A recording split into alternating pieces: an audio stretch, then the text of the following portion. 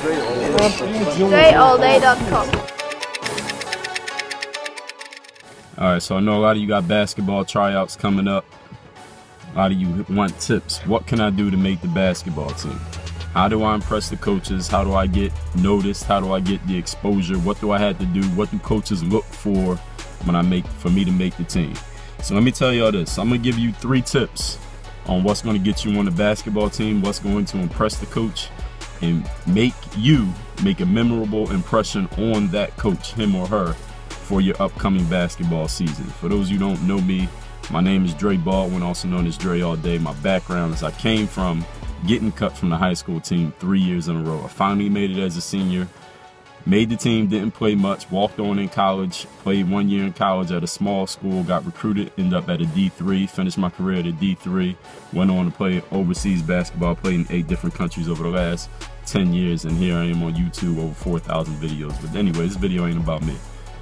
Just want to give you that background before I give you this information. Three things that get you on the basketball team. Number one, this is the most important thing, and this is the only thing you remember from this video. Remember this.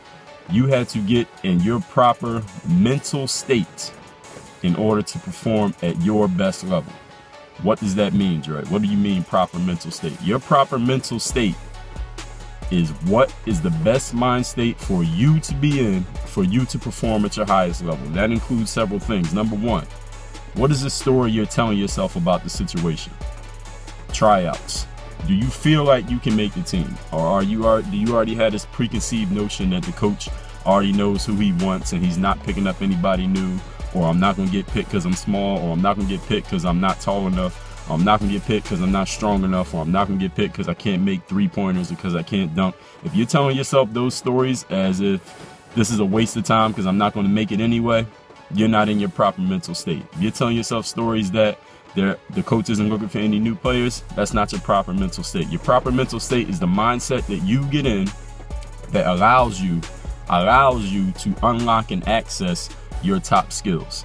Any of you seen the movie Wolf of Wall Street? Last week, that actual guy named Jordan Belfort, I saw him speak in Miami. And one of the things he said is that when you're in when you're in a positive mind state, your proper mind state, that allows you to access all of your abilities as a human being. When you're in the negative mind state, you're basically blocking yourself from accessing your abilities. So basically, let's put it this way. If you're a great basketball player, but you're in a negative mind state, you won't be able to access your full your full bag of skills. But when you're in a positive mind state, you can do things that you didn't even know you could do because you're in such a positive mind state, you are unlocking all your skills. So it's basically like a lock on a locker. When you're in a positive mind state, the lock's unlocked. When you're in a negative mind state, it's locked and you can't figure out the combination because all your mind is thinking about is negativity. So the number one thing you need to do is get yourself in the proper mindset to perform at your best. What is your proper mindset is different for each one of you. Every single one of you watching this video, you have a proper mindset. Some people play best when they get angry. Some people play best when they're feeling completely joyous and everything is perfect and they just got this really positive, happy mindset. Some people play best when they're not thinking about anything. Their mind is a complete blank and they're just zoned out and just focused on the game. Each one of you has to find what your proper mind state is. In the same way that you need to work on your handle and your jump shot, you need to work on your mentality. Because with the proper mentality, you'll be able to access all the skills. And without that mentality, you can have all the skills in the world, you won't be able to access them when it matters. Number two, do what you can do. If you are not a three-point shooter and you catch the ball at the three-point line, you're wide open, you do not have to shoot it if you're not a three-point shooter. Because guess what's going to happen if you shoot it anyway?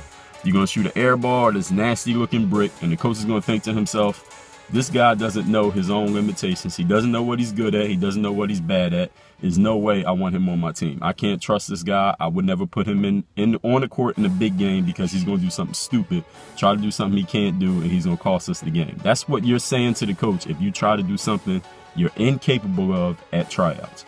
You're not a shooter. You don't have to shoot a jump shot. You're wide open doesn't mean you have to shoot. You can dribble it in towards the basket if you want to shoot it.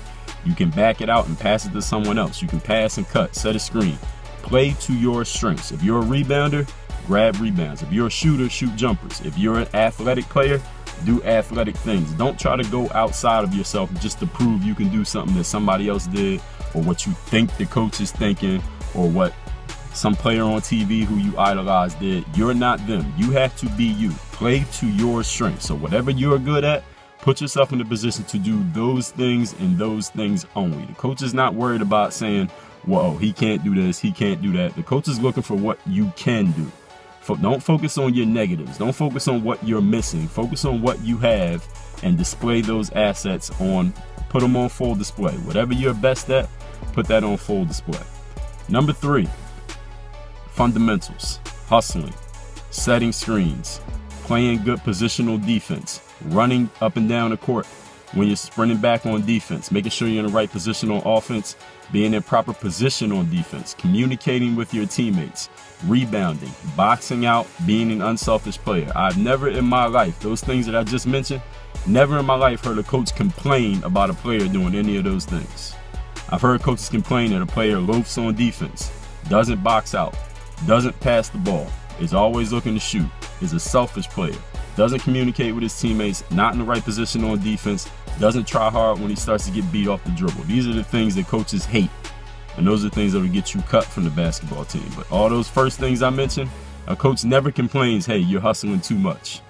I challenge any player on here to tell me a coach ever told them, yo, you're hustling too much. Hey, you're playing defense too well. Why are you always in proper position on defense? Stop doing that. Stop being so unselfish. A coach might tell you to stop being so unselfish, but it's a positive thing. Like, okay, look for your shot now. But players playing unselfishly, that's what basketball is. Any coach wants a player who plays unselfishly. Any coach wants a player who hustles, who boxes out, who knows where to be on defense, who communicates with his teammates, who's a positive teammate, a positive role model for everyone else, who has leadership qualities, which means you lead by example, which means you perform first and you talk second. You can't tell people what to do until they know that you know what you're doing. You don't have to talk.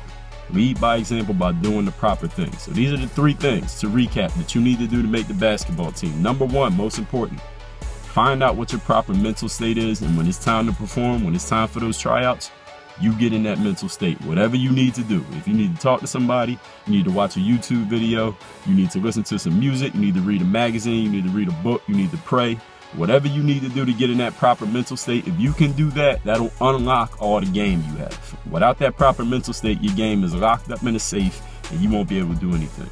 Number two, play to your strengths. Whatever you're good at, do that and only that.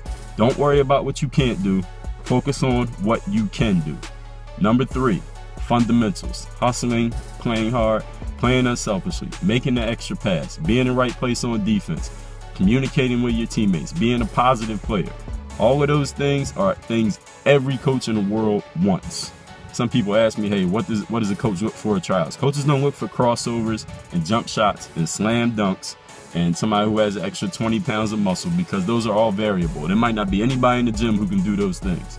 But those qualities I just listed, every coach wants those. And if you display those, playing to your strengths, and then you're in your proper mental state, I guarantee you will make the basketball team. Dre Baldwin, DreAllDay.com. Work on your game. Thanks for checking out this video. Make sure you check back next week on the same day to catch another off the court video. All my most popular content you can find up here. Follow me on all your favorite social networks over here. And make sure you are subscribed to catch all my new content coming on this channel every single day. Work on your game.